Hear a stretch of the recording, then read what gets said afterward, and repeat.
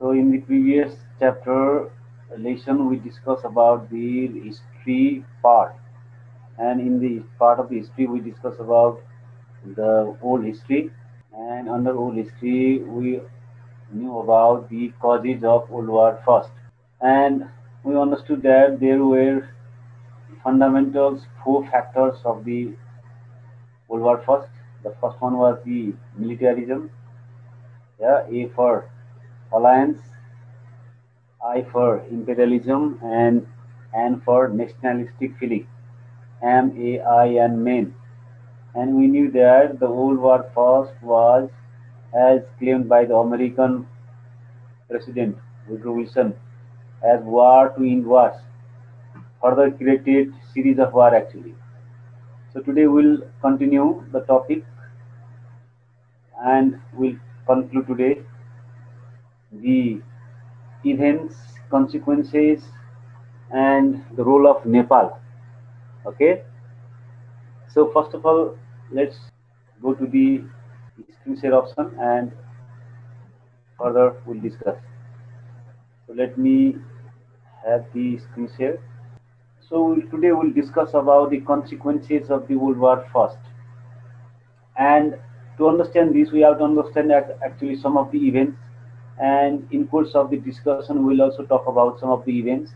So it is a combination of both. Okay. So as you can see here, the old War First, the Great War. And we have discussed last time about the chemical warfare, or you can see the you can see some of the apparatus, the attire, these soldiers having some kind of special gas mask. Means at that time they had the poisonous gas, chlorine or green gas. So it was not only the war of bullets, it was the war of chemicals as well. Okay, you can understand this basic assumptions. Now let's go further. Today we'll discuss about the consequences of World War First. As you all know that the war is started from 1914 and it was due to the enmity between the two hostile groups. One was the Central Axis Force uh, known as the Central Powers, Germany, Austria, Hungary, Serbia. You know, these were having some kind of issues and especially the issue was between the Austria and Serbia. As the Austrian Prince Archduke Franz Ferdinand was murdered by the Serbian nationalist, the Black Hand Society member Gabriel Princip, 19-year-old boy, who saw dead the Prince of Austria along with wife, or you can say the future queen, Sophie. So ultimately, Austria attacked Serbia, and to defend the Serbia, other partners like the France, UK, they sent their army to defend to attack the Austria. And as Austria was back supported by the Germany, it became war of European powerhouse. And ultimately, as they were competing in the Africa like the Egypt, Tunisia, or Libya, from there, as they were also in the you know support of the the Allied force known as the Triple Allies, that is uh, the UK, France, Russia, that became war of old, World War First, known as the Great War. So, and ultimately in 1917, we also discussed in the previous lesson how Russia left the battle as Russia was going through a civil war in 1917, and ultimately in 1918 the war is stopped by an armistice sign that is known as the uh, League of, you know, uh, you can say Treaty of Versailles that uh, gave way for the League of Nations. So let's look at how the war ended and what were the results, the consequences of the World War first. Okay, the first consequences, as you can see, economic and social consequences. As you can see, the picture itself is depicting the huge. There was huge demand of actually the working force in the Europe and elsewhere in the world, like the Asia and Africa. But as World War First destroyed many young, you know, active population. Europe was in dire need of the, you know, economic stability, manpower, which was not possible. We'll discuss about this. Second, we discuss about the human casualties and injuries. That is the death tolls. As you can see, the crematorium Then we'll discuss about the ideological result. That means the world was divided after World War First into ideological conflict. You know, which thought, which idea, which concept, political idea, economic idea was correct and which was incorrect. That kind of division was there in whole Europe and the old. Okay, it is called ideological consequences. Next is political consequences means many countries their political scenario totally changed after World War First. After 1918 and coming to the 1920 to 1930, you all know that this 1920 to 30 is the background of the World War Second. So what kind of political scenario was emerged after World War First? We'll also talk about this, and we'll also discuss about okay. The first point is economic and social consequences, and under this, let's look at during the war, the economic efforts of each country were focused on winning the war. Like British wanted to win over the war, Austria wanted to defeat Serbia. They wanted to teach a good lesson to Serbia, as Serbian nationalists killed their queens. So they were trying to actually, you know, focus on how to win. And for this, they had invested their total sum of, you know, property, like investment on warfare, weapons, army. Okay. Trade unions supported the war and momentously forgot their labor demands because workers were not so much focused on those period of time 1914 onward till 1920 it was the army it was the you know the troops. It was you can say weapons they were given the priority. As many male soldiers were on the war fronts women played an important role in factories weapons chemical factories. Many women even the you know children they were employed in the factories to produce the weapons they were working like you can see working inside of army barrack for production of the cannon bullets you know warfare weapons so let's continue. So after the war had ended european countries especially great britain uk and france were in bankruptcy means they had no money left. You know their total money that is you can say property total budget was finished. Or they were in a very financial difficulties due to all the expenses of the war. That was because european countries had asked for loans to the united states and those united states were gaining a lot of you know property from the war as well next they were also even trading with the weapons so european country had no money to give back to the united states usa the European governments had issued too much money, which provoked a tremendous inflation. And ultimately, what happened? The price of goods in the market was hiked. There was huge, you know, price hike in European market as well as in the America. So that kind of financial problem arose. The United States became the first old power because there had not been any fighting in the US territory. US was fighting after certain year, but there was no fighting within their own country. So you can see America started gaining, you know, that kind of power. Power was gained by both. One is military power, another one was financial power. That means from the monetary point of view. European countries who lots of money to the US. That US was like a rich you know business person uh, providing loan to the European countries. So US was actually controlling Europe after some year. They had abundant reserves of gold. US had a lot of gold as well. But in case of Europe, Europe was totally in a destruction as most of the you know country were bankrupt. They had no even money to pay back their loan.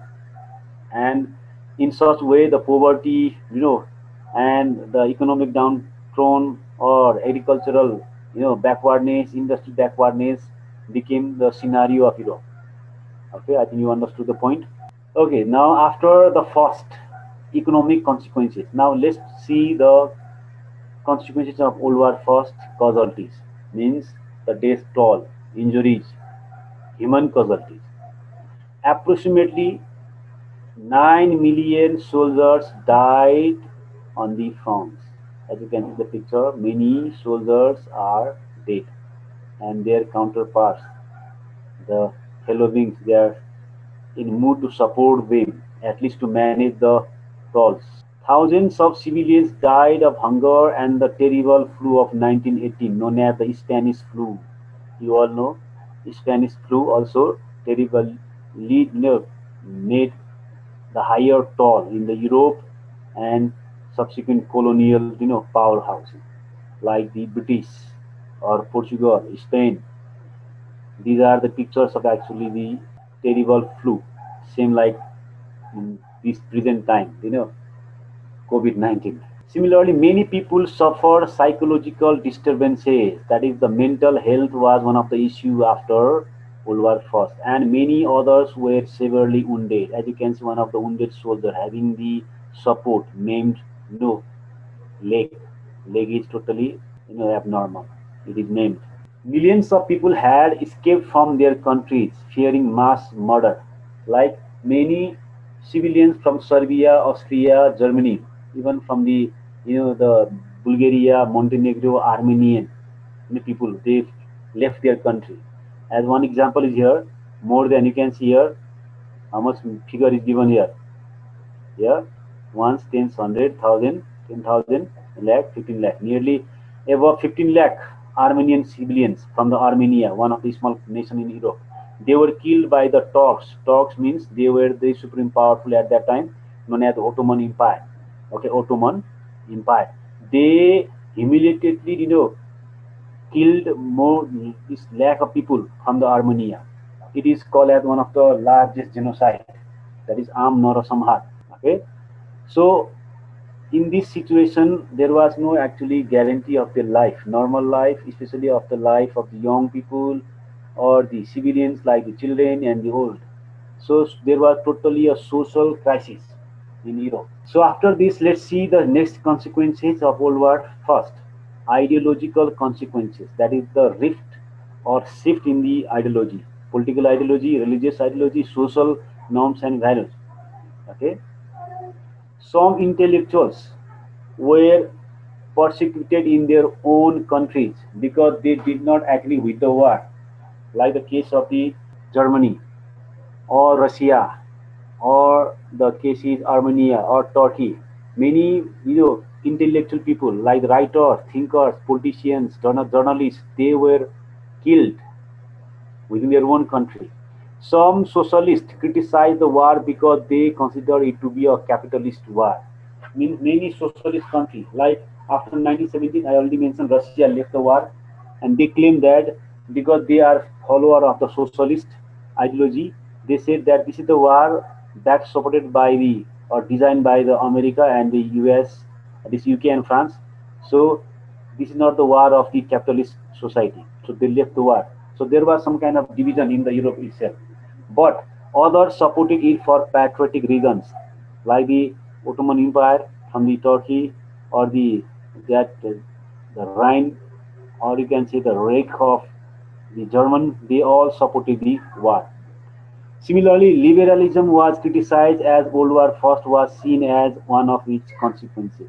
That means the liberal politics of the Europe, especially France, UK, and US, it was criticized because people said that because of that kind of ideology, that liberal policy, government is liberal, and you know, liberal government always think about the people's psychology, and in the name of nationalism, nationalism or fanatic nationalistic policy, War First was actually you know triggered. So there was some kind of division because of the thought, idea, how the politics should be managed. Politics should be managed by the king as a monarch like in the Portugal, Spain, Italy, Turkey, Austria, Hungary, or it should be mon, uh, this uh, Republican, like in the case of the Russia and uh, the uh, Russian umbrella nations, like the new country like Czech Republic. So there was some kind of division of the ideology after World War First, and most importantly, there was division of the ideology because many countries became republic after World War First. Like the best example is Russia. Russia became the first communist country to apply a republic with a federal system. Similarly, new country, you know, their ideology was also addressed by the League of Nations. So that kind of ideological shift was seen in the Europe. And next ideological shift was, which was not mentioned in this uh, you know slide, is the uh, the ideology of the workers. Workers became the central point of many countries, and workers they got the momentum after the May 1st, 1917, after which Russia became communist country. Then all European supreme powerful country, including the US, they all gave much priority to the workers. And second one was the momentum of women. Women were asking for the equality, participation in the you know administration as well, not only as a factory worker who could you know produce only some kind of weapons. Okay, so women issue of women, issue of you can say working class workers that also got momentum after World War First. So these are some of the ideological consequences. And the next consequence is political consequence, eh, that is political change, political revolution after World War First. Now the one point you can say that political consequence is linked with how the power and the politics are shifted. If you can see before World War First, okay, before World War First, 1914, before onward, at that time there was the European supreme powerful you know countries which were managed or governed or under the either absolute monarchy. Monarchy means the rule of king with 100% power, absolute monarchy, or the you can say the constitutional monarchy. There was ruling by king, but after 1918 and especially after 1920, the political scenario totally changed and many countries started having a liberal type of political system that is the politics managed by party. Okay? Politics managed by leaders not like the kings. Okay? As a absolute monarch. So that kind of political changes were seen. So let's see the slide. The first political scene was uh, you can changes was seen after the peace of paris. That is known as the the foundation of the League of Nations, Treaty of Versailles. There used to be a palace called Versailles Palace, where the sign was, you know, made.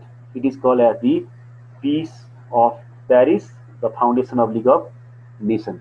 Okay, let's continue. The wait, wait a minute. It is forwarded. Okay, the peace treaties were not negotiated but imposed to the losing countries by France, the UK, the US, and Italy. That is the German side, especially German side, along with the Austria, was imposed by the Peace of Paris. The Treaty of Versailles was the most important peace treaty. Then Germany was blamed for the war. Total, you know, that blame was charged upon the Germany, and Germany's army was limited to just one lakh you can say before this there used to be a lot of soldiers more than 1 lakh you can say it is said that estimated figure is more than 42 lakh soldiers were increased by the german side during the war time. After war is finished they had just 1 lakh soldiers. Germany would have to reimburse all the war expenses. Means germany had to pay all the expenses. That is the compensation khetipurti because they were loser in the war and loser had to pay the compensation. This was also a way to weaken Germany. So slowly, gradually, you can say the before 1914 Germany was politically like a powerhouse. Politically, it was like you can say relate this to the you know lion, lion having the sharp claws. But after 1918, when Germany had to pay the total sum of the compensation, then Germany became very powerless. Like you can say lion without teeth and lion without claws. Germany and created a state of revenge within the country and within the territory of Germany, people of Germany and many parties formed after 1914. As you know that German emperor, the king, Kaiser William, Kaiser William left the Germany after the war is finished. German became the loser. Then Kaiser William, their king, left the country and went to Holland that is the Netherlands. And after that, Germany became republic. Don't forget, Germany became republic. Then German parties, they also raised the issue that now Germany should be powerful. Army, one lakh army should be increased. There are more than 24 warship, You know, the navy force warship or you can say the submarine should be also increased so that kind of psychology was triggered because of the political scenario in germany you can see this is actually the german territory berlin is here there is poland poland area czechoslovakia hungary and austria so you can see after that political you know conference and meeting in the treaty of uh, Versailles was signed then Germany actually lost many territorial, you know, structures. Like it is called German territorial losses, like the Alsace-Lorraine was given to the France. German one was so powerful, you can see the expansion. Now you can compare the present time Germany after World War First and Second and the previous. We can see that the German lost many territory. Same like Nepal lost many territory after our war with the East India Company. Yes, similar situation. Wait a minute. Okay. Alsace and Lorraine were returned to France. Some territories were given to Belgium. Some of its territory was ceded to Poland. That is the Danzig corridor. Here is Germany and it was Poland. This is Danzig corridor. This corridor was given to the Poland. Some was given to Denmark. This one, this area was given to the Denmark. Now the question is all these you know agreement was signed after the paris peace you know meeting that was held in 1919 so the peace of paris 1919 made german to pay the compensation pay the land back to their counterpart nations the treaty of versailles was seen as humiliating by the germans due to its harsh condition number one is you know Germany was not consulted during the conference or during that meeting. They were not consulted. It was one-sided agreement. Second, it was harsh because the conditions were so much you know strict that German uh, economy would be totally doomed. This would partially allow the rise of the Nazis to power in 1933. So in 1919 we got agreement, and within a decade, after 10 years time, and within you can say the, the in the 1930s that time as you can see the picture the nazi party one of the socialist party found by the group of you can say the hitler and counterparts that became one of the supreme powerful you know entity in the german history so that all happened because of the the agreement made in the versailles palace which also gave way for the league of nations but the Treaty of Versailles was one of the humiliating treaty which ultimately created the foundation for the World War II. That's why many experts claim that Treaty of Versailles was the root cause of the World War II. That means the seed of the World War II lied on the Treaty of Versailles, and the seed of the Treaty of Versailles lied on the that is the, the defense of the Germany or the losing party, Germany in World War First.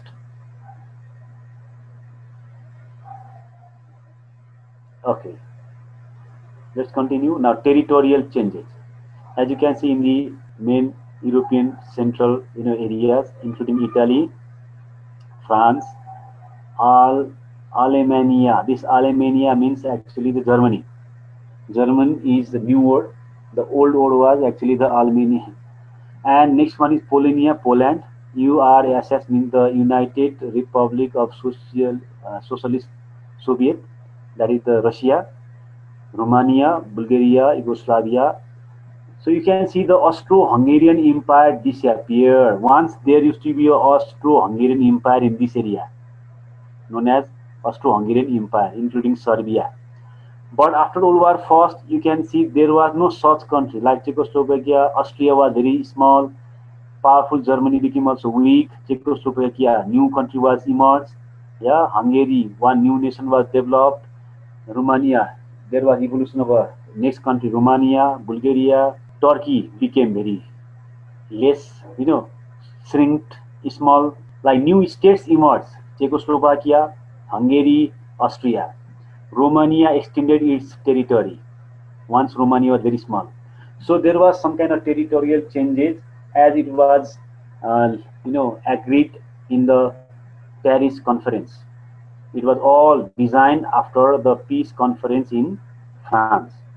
In this way, the there was a lot of changes in the European territory and European politics. Poland, Estonia, Latvia, Lithuania, and Finland, previously part of Russia, all they also got reformation in their territory. Yugoslavia, a multinational country, was created. Yugoslavia. You can see one type of race, Yugoslav. Another one is the Slav. You know, those kind of racial multinational country was developed after World War. This is the Yugoslavia. Once see the map here near the Greece. The Ottoman Empire disappeared and modern Turkey was created. This is the Turkey. This is the mainland of the Turkey lying in the right now Asia. This is the small part of the Turkey known as the Western Turkey in Europe. So these all reform because Turkey means once the larger area of the Yugoslavia, even some part of Romania. Okay, so there were a lot of reformation in the territorial. So these were some of the new countries, the reformation. Let's continue. Can you guess who is this? This person is from the US. Let's see who is this person.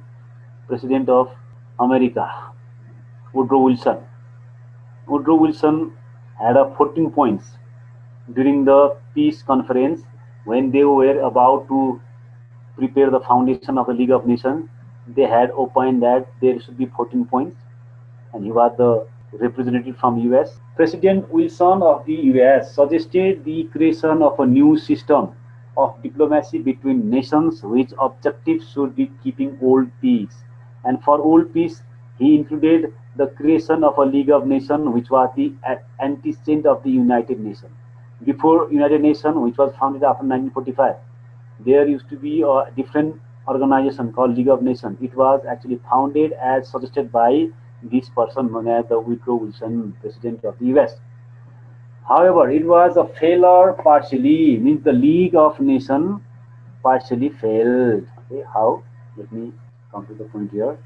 The League of Nations, this one, League of Nations was partially a failure nation because they were not able to stop the further war as it was the guiding principle of the League of Nations.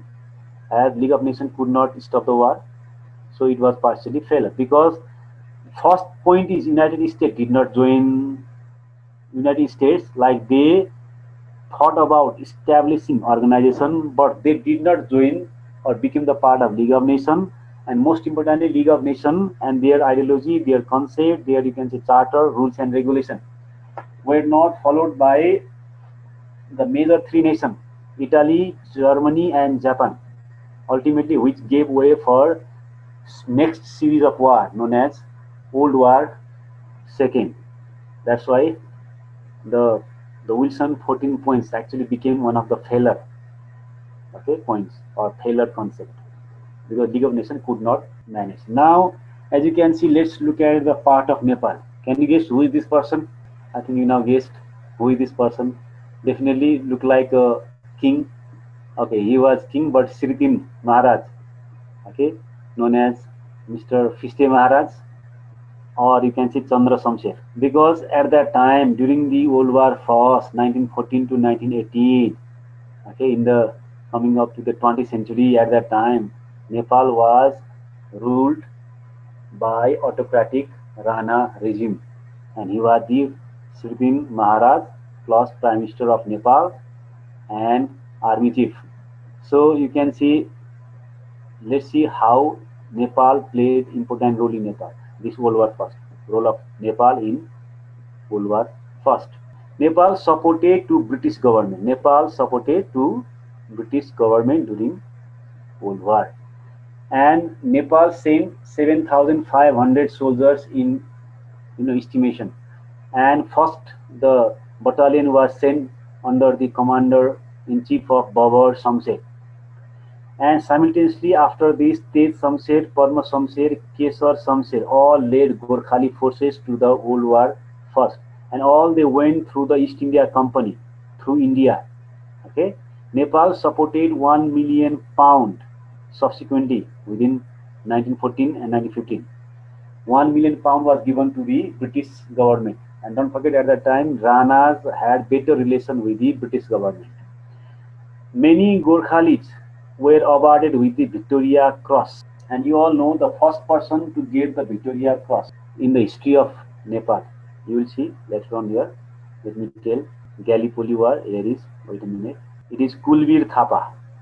Kulbir Thapa was the first person to receive the Victoria Cross because of the bravery shown in the World War. Around nearly 2 lakh Gurkhas fought in the Great War. That means during that war they used to call Gurkhas. We say Gurkha, but they say Gurkhas. Altogether, okay, first troops sent was 7,500. Later on, they Samsher, Burma, Samsher, Kesar, Samsher, all the led Gorkhali forces in different periods. Okay, total 2 lakh soldiers were uh, involved in the war with their regiments taking part in battlefields ranging from the trenches of the France to Persia in present-day Iran. Then we fought Nepali brave Gorkhali soldiers fought in different warfare in the trenches, okay, bunker from France to Persia, that is Iran. So more than you can see 20,000 soldiers got martyrdom in World War First, and among them many got Victoria Cross. So one of the notable incident is Gallipoli War. This Gallipoli War is so much fight that the British soldier claimed bravest of brave. That is Gorkhali soldiers were one of the bravest of all brave, friendliest of friends, and deadliest of all. How? Because they fought in so such a way that all the Europeans were stunned, especially Turkish army. Let's look at Gallipoli War, one incident. You can see here, this is Turkey. Turkey was part of the World War First as a central powers. Turkey, so this uh, Austria and Germany, they were in one alliance. And one war was in this island. You can see Gallipoli Peninsula. Peninsula. Okay. And in this war, in the Battle of the Gallipoli Peninsula, Gurkhali defeated Central Powers, that is Turkey. Gurkhali supported French and British troops to win on land and sea. It is known as the bravest war fought by any foreign armies in the old during World War First. And the first person to get the Victoria Cross after this battle is called Kulbir Thapa, the first rifleman to receive the award. So in this way, the uh, Nepal played a very important role during the World War First. Okay, that's all and the lesson that we should understand from the war of first world war is of farewell to arms as said by the Ernest Hemingway. Okay? So let me get some question confusion if you have. Otherwise let me stop here now